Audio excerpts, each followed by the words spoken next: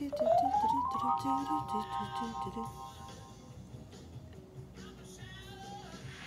everybody, and welcome to another episode of Coffee Talk.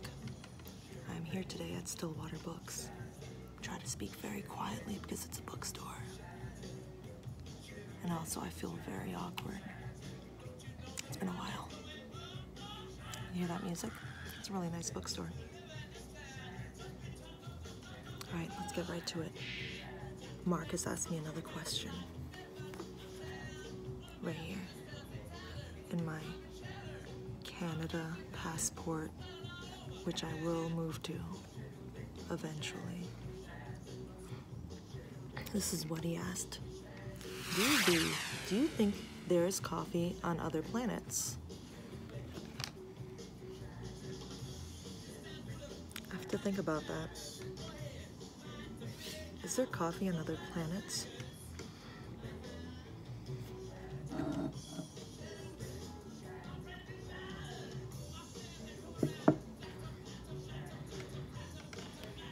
Oh yeah, I don't have a hat on today. It's really weird.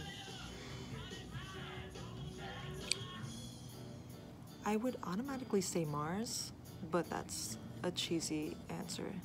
I think that Pluto is the one that has the coffee, and here's why.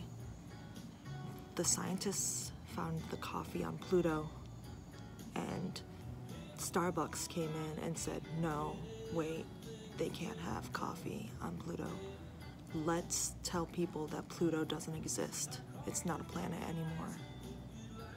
And then that's why Pluto is no longer a planet because of the coffee there and Starbucks and their jealousy. Damn you, Starbucks. Pluto is a wonderful planet and they have the best espresso. I will never get over this anger. Damn you, Starbucks, as I drink this Starbucks Frappuccino. I hope that answers your question, Mark. Does it? Does it answer your question?